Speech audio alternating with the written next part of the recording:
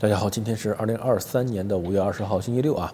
那这两天啊，这个在这个中国这个网上有一件事儿闹得特别火啊，那引起了很多的这个争议啊。呃，很多人就认为呢，这个中国的这警察呢不好啊，这个可能就是说，可能有一点就是歧视同性恋啊，觉得好像是这个对同性恋不好啊。怎么回事呢？是这样啊，中共的这个警方呢，他这个曝光了一个呢这个违法事实啊。呃，他他当然了，他认为什么呢？他这是这是叫叫行政处罚。行政处罚决定之后呢，他认为这个事情呢引起了社会公害，所以呢他有必要呢把它呢就公布呢于众啊。那么他呢就是说，他说主要违法事实是什么呢？是啊这个叫二零二三年五月十四日啊，呃等于就一个星期前吧，那晚上啊，呃到次日凌晨啊这一夜之间啊某某某某几人啊这个在杭州市西湖区某某呃某某新村某某室内参加呢由某某组织召集的这个聚会。然后呢，说的就是非常的详细啊，说进行口交、肛交等淫乱活动，真的是中国警方对外公布的这个公告啊，是向全民、全社会、全国家公布的这个公告，就这么写的。那所以呢，那那我没办法，那那警方公布，对不对？而且这个向全全社会公布，那那那没办法，那我就只能照着他念，对不对？然后他说呢，进行口交、肛交等淫乱活动啊，收缴润滑剂两个，润滑油三瓶，后庭参交缸。呃，参胶膏，那后庭应该就是就是后边的这个参参胶，就是这个，呃，一种一种膏啊，一盒啊，叫锁精环两个，啊，避孕套二十个，啊，然后呢，这个老百姓看了之后呢，觉得就是怎么说呢？这里边一个女的都没有，抓了六个都是老爷们儿啊，抓了六个老爷们儿，收缴了呢这些东西啊，就觉得这一页这个画面难以想象，哈，这画面太美，我不敢看啊。那后来就说这是怎么回事呢？是这样，原本他们是七个人的。然后呢，是在网上约的啊，互相聊聊的比较愉快，然后就约了呢，一起呢来这个搞个 party，大家一起呢这个这个 独乐乐不如众乐乐啊，一起高兴一下。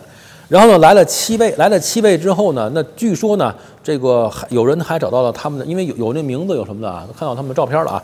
呃，非常帅啊！据说六位呢，全部都是那个男模，都是都是男模特啊，是的，都是模特界的这个人人士啊，非常的帅啊！要身高有身高，要这个这个什么有什么，他们的那个纷纷的就开始说说这为什么导致这样？就他们觉得就是说中国现在女权过于这个猖獗，导致呢就是老爷们们呢都已经就是不想再跟女人们再搞在一起了，哈哈，就是因为被女权呢就是说这些年压抑的太狠了啊，这这个抱抱怨。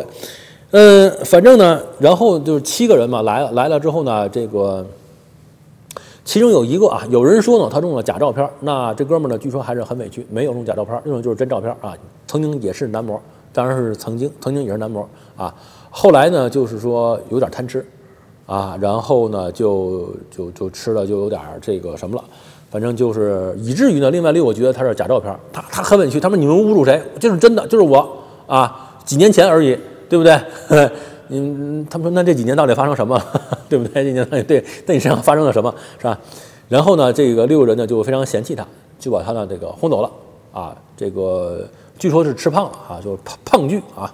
那据据据说呢也长得还行，其实不丑，就是太胖了，主要太胖了就胖剧啊。这个你看这个性性性别歧视，然后呢还这个这个身材歧视啊，这极为不好啊。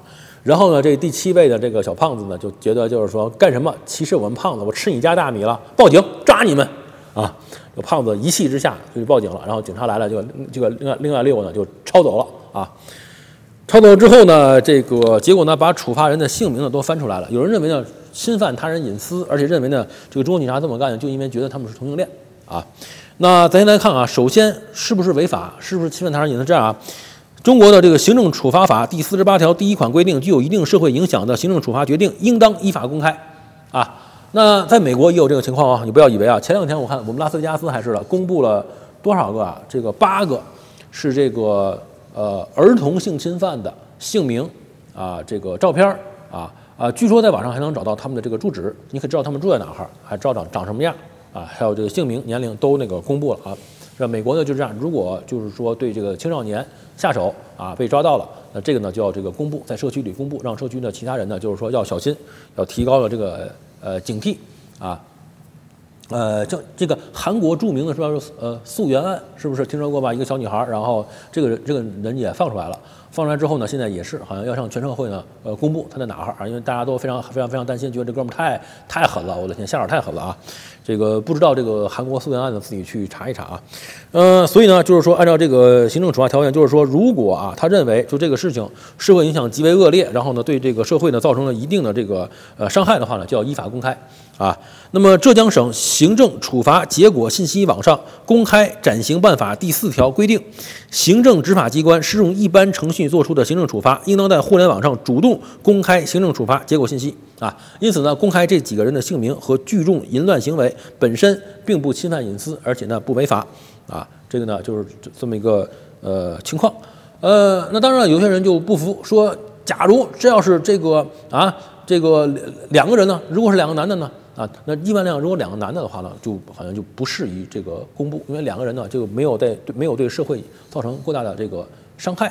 啊，那有人说，要是这里边男男女女呢？啊，那告你呢，哎，为了证明啊，他这个啊不是歧视同性恋啊，来了，给你看，啊，这个。在行政处罚结果信息公开栏在这儿，男童六 P，这是他们六个人有他们的这个姓名啊，当然这个这个我们我们都给你划掉了啊，然后下面就是啊，也是聚众淫乱。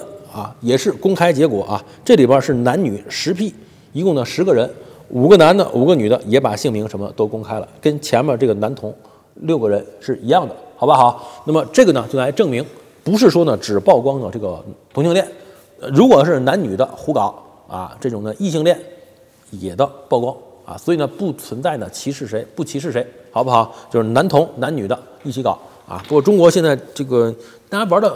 都很愉快啊，这个啊，这个十十个啊，五男五男五女啊，还有呢六个六个老爷们儿啊，都都都有啊，所以呢，这个就是这么个情况。所以这这个事儿呢，最后来讲呢，那事实证明啊，也不能算是歧视同性恋啊，因为异性恋呢也都公布了啊。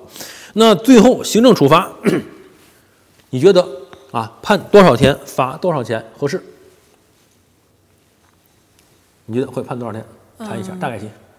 迅速就第一时间反应，十天啊，罚多少钱？两千。两千啊，好，最后一共呢罚了十三天啊，然后呢罚了五百元人民币啊，还行，不算太多，是不是？都都还说得过去啊。每每个人都是啊，关十三天五百块钱，然后六个人出来之后要跟胖子聊聊，不敢不敢啊，这个开玩笑开玩笑，这个这个不能不能瞎开玩笑啊，呃瞎开玩笑六个人就得抓进去，六个人如果找胖子聊还得还得抓。还得关啊！这个我让他们真的不要去找胖子，找找了胖子，胖子再报警，你们六个还又得关进去，又得罚五百块钱啊！所以呢，就呃这么一个情况，好不好？反正就是这个这个的都好吧。我觉得这个呃，他们最后呢也是说了一点，就是说其实中国呢还是基本属于呢这种世俗社社会，没有呢特别多的这种宗教的这个情怀在里边儿。呃，所以呢对这种事情呢，中国人还是比较包容啊。比起其实比起西方。呃，比起像什么中东一些，就是说宗教，呃，在这国家里占比比较多来讲，对这种事情的包容性呢还是非常强的。所以呢，其实也不存在呢歧视谁不歧视谁，大家不要太敏感就好，好不好？那就这么一个情况。呃，这事儿呢就讲到这里吧，谢谢大家。